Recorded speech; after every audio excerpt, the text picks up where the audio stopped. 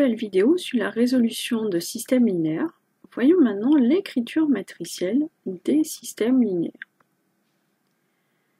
Alors, le système linéaire, euh, défini ici, hein, A11 x1 plus A12 x2 plus jusqu'à A1n xn égale B1, et puis euh, ça jusqu'à AP1 x1 plus AP2 x2 plus jusqu'à APN xn est égal à BP, et eh bien ce système linéaire, A ici n, euh, n inconnu et P équation, peut s'écrire sous la forme matricielle AX égale B, où on a A qui est la matrice de taille Pn, formée des AIJ, X qui est la matrice colonne de taille n, euh, formée de x1 jusqu'à xn, et B qui est la matrice colonne de taille P formée de B1 jusqu'à BP.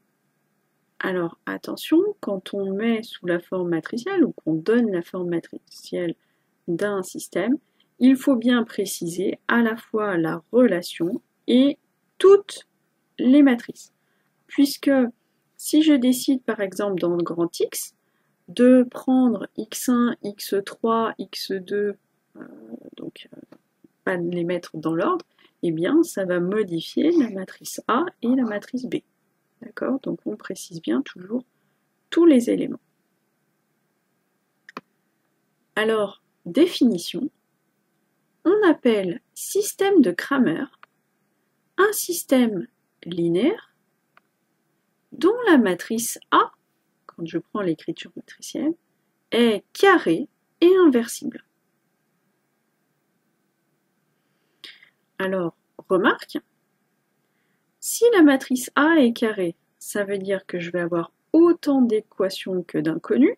Donc si A est de taille n, je vais avoir n équations et n inconnues. Et la matrice est inversible, ça veut dire que son déterminant est différent de 0. Propriété. Un système de Cramer admet toujours une et une seule solution on sait qu'un système linéaire, hein, de façon euh, générale, peut avoir une solution, zéro solution, une infinité de solutions. Et eh bien, si c'est un système de Cramer, dans ce cas-là, j'ai une et une seule solution, toujours. Et plus que ça, je peux dire quelle est cette solution. Rappelez-vous, on a dit système de Cramer, AX égale B moi je veux x égale, donc il faut que je trouve quelque chose pour faire apparaître l'identité. Qu'est-ce que je peux faire? Eh bien multiplier par a-1. Attention, il faut faire la même chose des deux côtés du égal. On a effectivement x qui est égal à a-1 fois b. Donc le produit de l'inverse de la matrice A fois la matrice B. Et l'inverse de la matrice A existe bien, puisqu'on a dit système de Cramer, A est inversible. Prenons un exemple. J'ai ce système-là. Eh bien, ce système-là, je peux l'écrire AX qui est égal à B, où on a la matrice A qui est égale à, eh bien, 1, 2, 0, moins 1, 1, 1, 2, 4, 3. Mon vecteur x, qui est donc x, y, z, et mon vecteur b, qui est 1, 1, 0. On peut étudier la matrice A on a en particulier que le déterminant de la matrice A est égal à 9. Je vous laisserai faire le calcul, je vous laisse vous référer aux euh, vidéos faisant, euh, donnant des méthodes de calcul du déterminant. Quoi qu'il en soit, le déterminant de A est différent de 0, donc A est inversible, et puis on sait qu'elle est carrée d'ordre 3. Donc, on a un système de Cramer.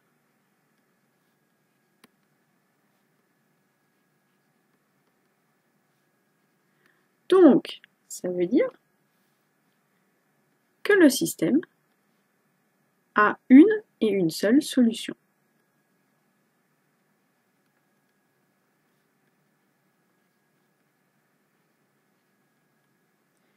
Maintenant, quelle est cette solution? Eh bien, on peut démontrer que A moins 1, c'est égal à 1 sur 9 fois la matrice moins 1, moins 6, 2, 5, 3, moins 1, moins 6, 0, 3. À nouveau, je vous laisse vous référer aux vidéos sur le calcul de l'inverse d'une matrice. Du coup, que vaut grand X? Eh bien, grand X, c'est A-1 fois le vecteur B. D'ailleurs, je n'ai pas pris les mêmes notations dans les deux. On fait le calcul.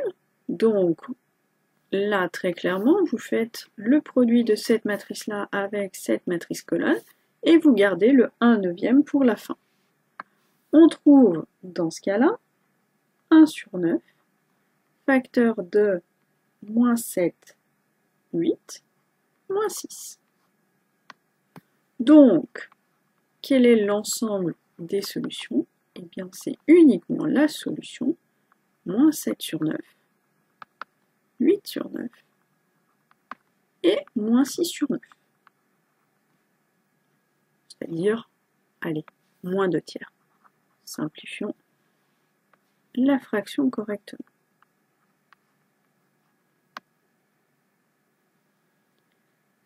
Alors, vous voyez que euh, pour faire ça, ça nécessite de calculer la matrice inverse.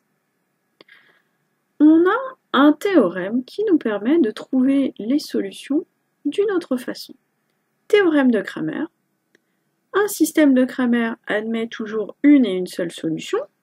Ça, on l'a déjà vu dans la propriété précédente.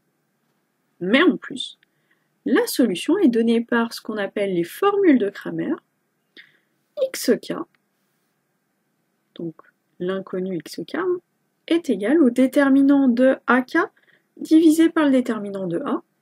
Et qu'est-ce que c'est que la matrice ak C'est la matrice qui est obtenue à partir de la matrice A en remplaçant sa quatrième colonne par la matrice B, la matrice colonne B. Voyons un exemple, un exemple ici très simple. Je vais prendre une matrice 2, 2. Donc, ce système, je peux l'écrire à x égale b, où la matrice A, eh bien, c'est la matrice 4, 2, 2, 3. X, ça va être x, y. Et B, c'est 24, 16. Alors, je peux calculer le déterminant de A déterminant de A, on voit ici qu'on obtient 8, qui est différent de 0. Donc, il s'agit bien d'un système de Cramer. On sait donc qu'il va y avoir une solution et une seule. Maintenant, les formules de Cramer donnent eh bien, x, c'est quoi? C'est le déterminant de la matrice. x, c'est le premier indice, donc je remplace la première colonne de la matrice A par la matrice B, 24, 16, et je recopie la deuxième colonne, 2, 3. Et ça, je divise par le déterminant de la matrice A on peut faire le calcul, on trouve 5. Je remplace dans la matrice 1 la deuxième colonne, cette fois, par B.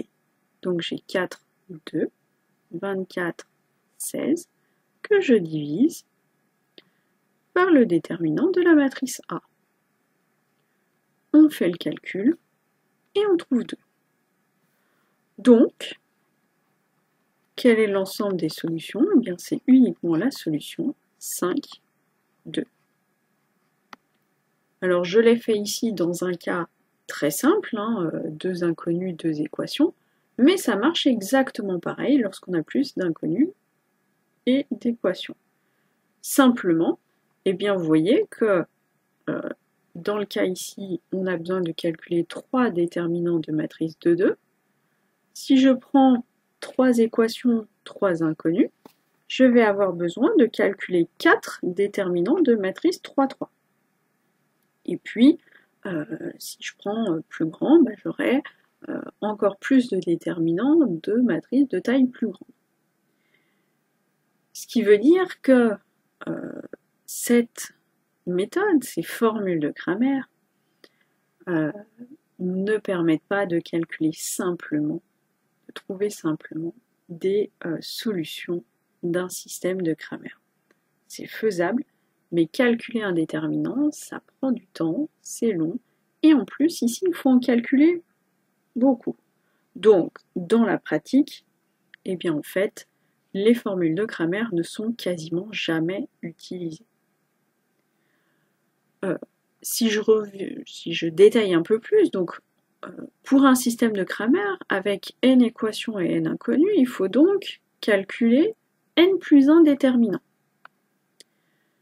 Euh, la formule de Leibniz, on sait que le calcul d'un déterminant de matrice de taille n nécessite la somme de n factoriel produit de n termes.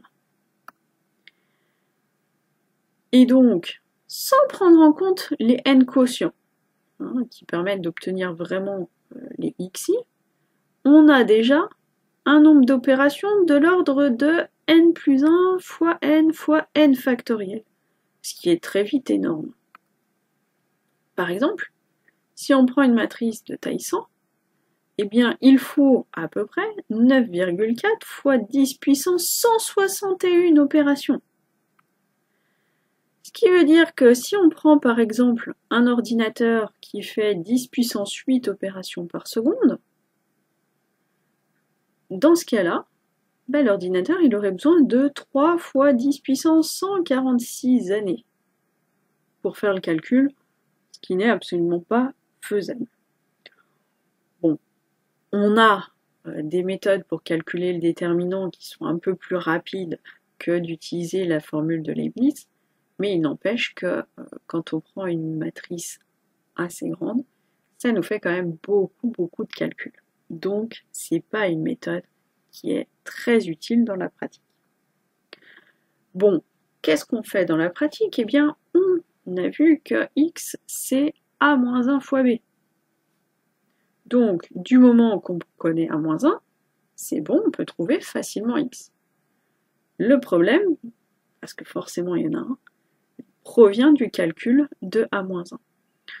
En effet, ce calcul est généralement long et. Et en plus, d'ailleurs, euh, le calcul de A-1 est parfois assez sensible aux petits écarts, euh, aux petites erreurs qu'on peut commettre, et une toute petite erreur peut avoir des conséquences énormes. On peut malgré tout résoudre un système de Cramer sans avoir besoin de calculer A-1 en plein. Je vous laisserai regarder la prochaine vidéo pour avoir un exemple.